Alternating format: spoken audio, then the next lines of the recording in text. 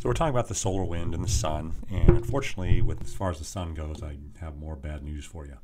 And it's related to this question we have that you know we're always drawing the sun as this happy thing, but I'm sort of advocating that maybe we ought to start doing this.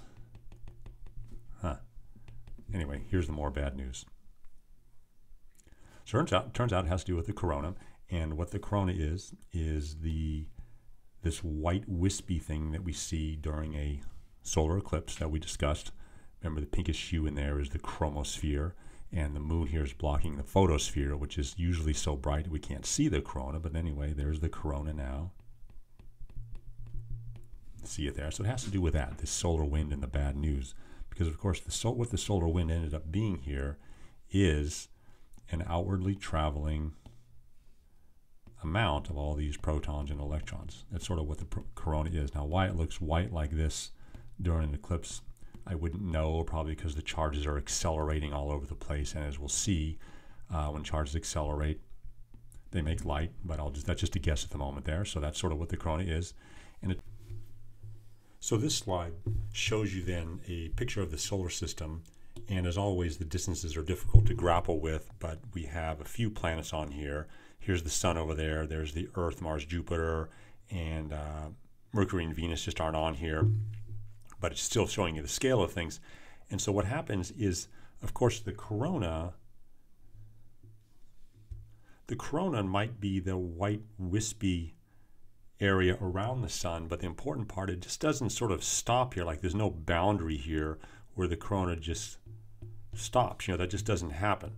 And so what the corona does, those positive, those protons and electrons that are coming out, they just stream through the entire solar system like this. As we mentioned, bathing all of the planets in these bizarre emissions from the sun.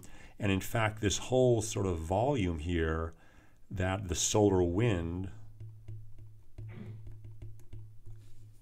occupies is called the heliosphere. Of course, helio is the term that refers to the sun, and sphere then is sort of like the sphere that all of the solar wind encompasses. So, like if you had a sphere like this with the sun right in the center, like that, and here's sort of the three dimensional sphere, and all this stuff is going out, it just sort of fills this volume with the sphere here, and that's what the heliosphere is. And so, all of the planets fall within the influence of the sun or the heliosphere. So, see, the sun sort of has its claws into us. All of our planet, all of the planets are sort of really in a constant influence by the sun, and not just only its light, but in this this emission of the protons and electrons or the solar wind.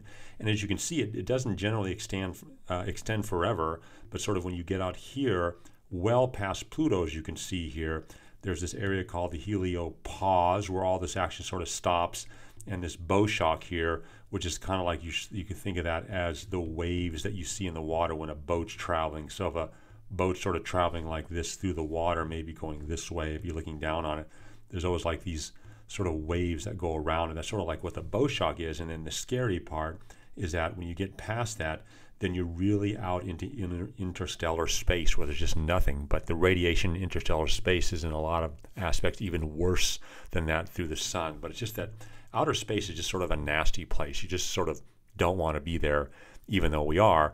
But of course, it still begs that question: is that how does life survive on Earth with all this nasty stuff that's either coming out from the sun or just exists in outer space? Well, turns out I've got even more bad news for you, and it goes like this.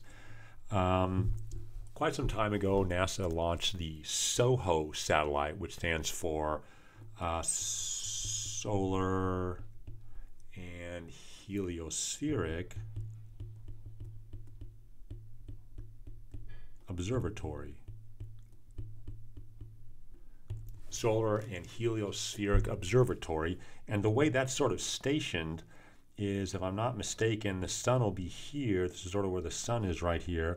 And the observatory is a satellite that's up in outer space like that, always sort of looking down at the sun. And if I'm not mistaken, it's sort of synchronized to the sun as well. So it just sort of goes around the sun, always observing it.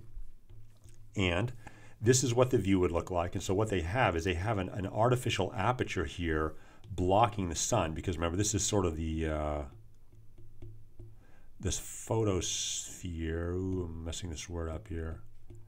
the photosphere. I don't have that hyphenated probably, but that's the photosphere, and they have that blocked because it's so bright, and we're just trying to see the area around the sun.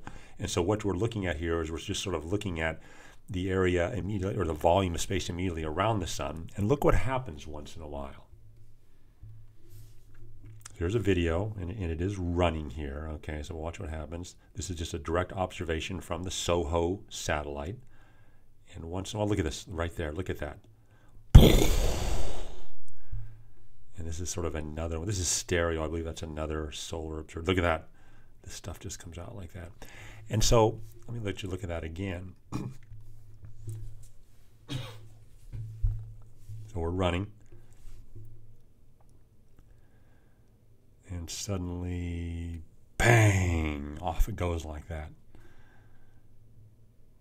And here and look at when the display gets fuzzy like right there. Do you see all that static that happened? And so these are big emissions from the sun uh, that happen for at random times unknown unknown reasons why. But the point is that these ejections here and these are called coronal mass ejections coronal mass ejections uh, or CME CMEs for short. Uh, coronal, of course, refers to that area of the sun, the corona, remember just outside that white wispy stuff that we see during eclipses. Um, and it's a mass ejection. The sun is literally taking its own mass and spitting it out or burping. So the mass is being uh, spit out into the solar system. There's no doubt about that. And you can see how large these coronal mass ejections are here compared to the size of the Earth. So there's these big ejections of hot plasma and protons and electrons and the whole bit just going burp, you know, out into outer space like that. And is this something we should worry about? Well, I will tell you about that in the next video.